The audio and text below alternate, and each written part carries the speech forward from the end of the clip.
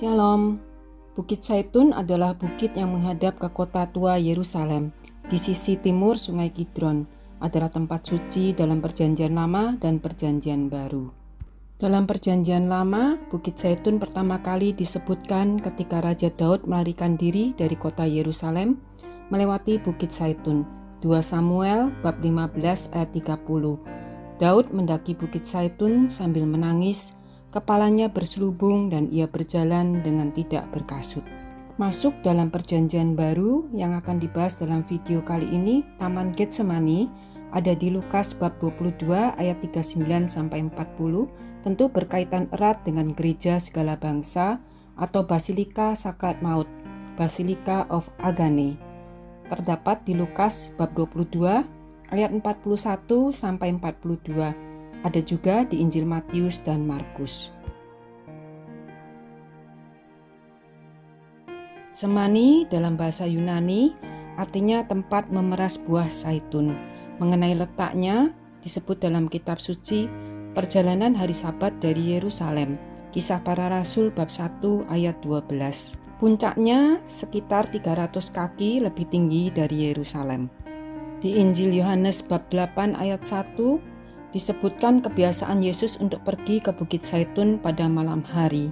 Dan Yesus berbicara tentang tanda-tanda kedatangannya di Matius bab 24 ayat 3. Di Taman Getsemani ini ada delapan pohon zaitun kuno yang diklaim ahli botani mungkin mereka berusia 3000 tahun. Terletak di sisi utara gereja segala bangsa atau Basilica of Agane. Taman Getsemani terletak di kaki bukit Zaitun, taman ini dipertahankan seperti pada zaman Yesus.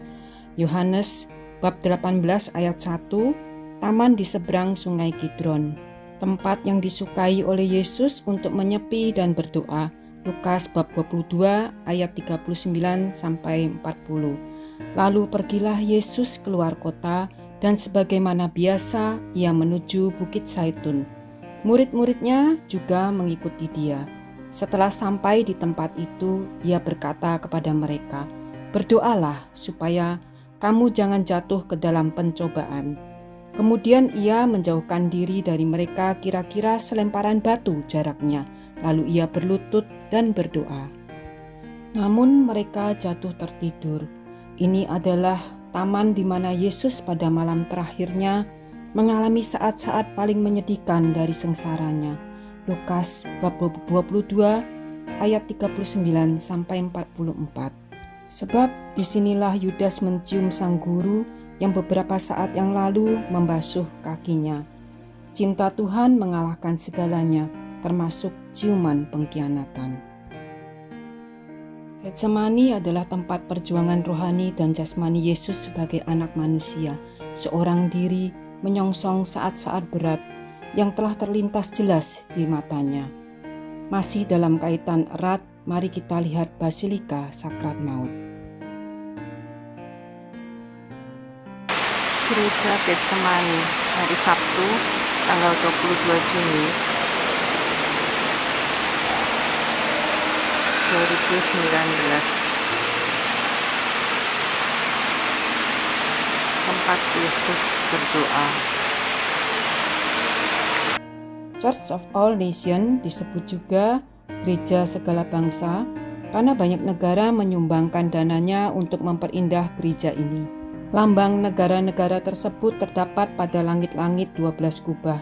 Dibangun pada tahun 1919 sampai 1924 oleh arsitek Itali Antonio Berlucci yang merancang juga Gereja Delapan Sabda Bahagia dan Dominus Flevit. Bisa lihat video yang terdahulu.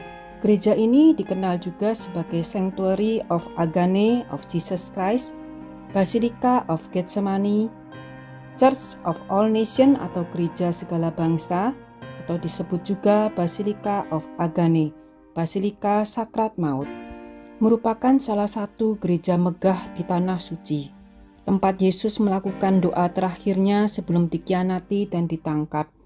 Batu Agonia inilah Basilika of the Agane didirikan. Batu ini terletak tepat di depan altar utama. Matius bab 26 ayat 36 dikatakan, Maka sampailah Yesus bersama murid-muridnya ke suatu tempat yang bernama Getsemani. Lalu ia berkata kepada murid-muridnya, "Duduklah di sini sementara aku pergi ke sana untuk berdoa."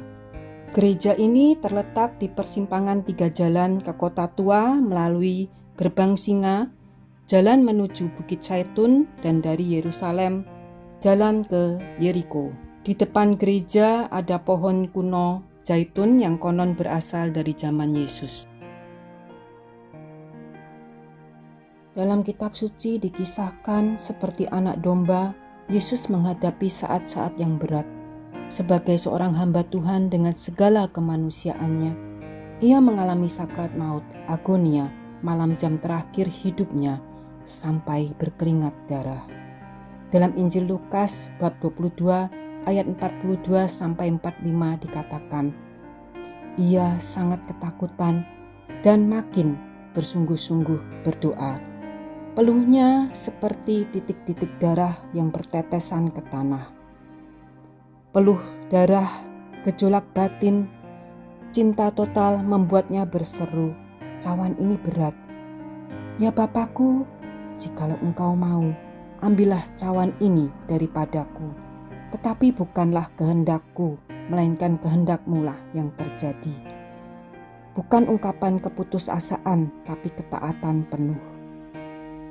Maka seorang malaikat dari langit menapakkan diri kepadanya untuk memberi kekuatan kepadanya.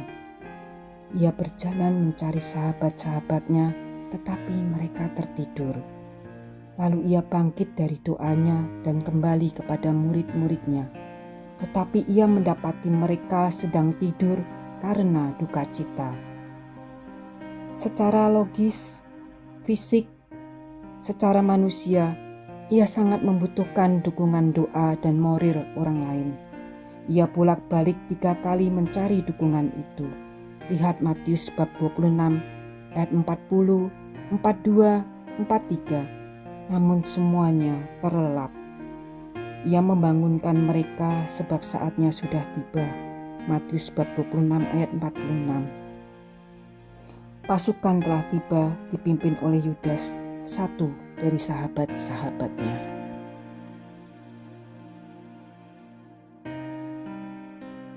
Sebagai penutup, Getsemani dan Basilika Sakrat Maut mungkin sudah dilupakan sebagai tempat memeras dan menghasilkan minyak zaitun yang terkenal banyak khasiatnya, tetapi lebih sebagai tempat Yesus berdoa, tempat Tuhan mengajak kita berdoa agar jangan jatuh dalam cobaan, tempat Yesus membela murid-muridnya, tangkap aku dan biarkan mereka pergi, tempat ia melawan kekerasan pedang Petrus, tempat di mana Yesus membuktikan kekuatan doa dalam kekelaman apa pun.